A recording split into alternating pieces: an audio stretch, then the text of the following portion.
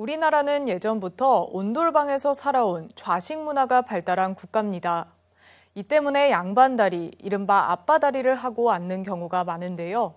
무릎 건강을 위해서는 앞바다리는 자주 하지 않는 편이 좋다고 합니다. 구동규 기자입니다.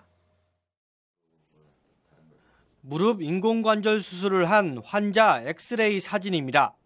연골이 마모했고 뼈까지 약화한 환자로 수술을 받았습니다. 무릎 건강에 영향을 준 데에는 양반다리, 이른바 앞바다리 자세가 이유로 꼽힙니다. 그 가부좌를 하게 되면 이렇게 이제 구부러지면서 안쪽이 많이 눌리게 돼요. 하중을 많이 받기 때문에 그 이 관절 안에 있는 연골 판이랑 연골이 하중을 많이 받으면서 어, 오랜 시간 가부좌를 하게 되면 쉽게 손상이 되죠. 앞바다리로 자주 앉아 있으면 무릎이 과하게 구부러진 상태가 오래돼 오다리 형태가 나타납니다. 바깥쪽 근육이 늘어난 결과인데 심하면 체중이 무릎 안쪽으로 치우쳐 연골 손상이나 관절염 등이 발생합니다.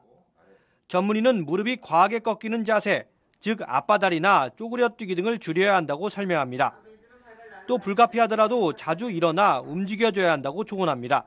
어, 이제 어렸을 때는 큰 영향은 없는데 이게 습관이 되다 보면 지속적으로 계속 하게 되기 때문에 무릎 안쪽 인대는 큰 영향은 없지만 바깥쪽 인대가 많이 이완되면서 그 이제 안짱다리가 더불어 틈틈이 양다리를 교차해 허리 90도 굽혀주기나 의자에 앉아 무릎 쭉 펴기 등 스트레칭이 중요하다고 강조했습니다.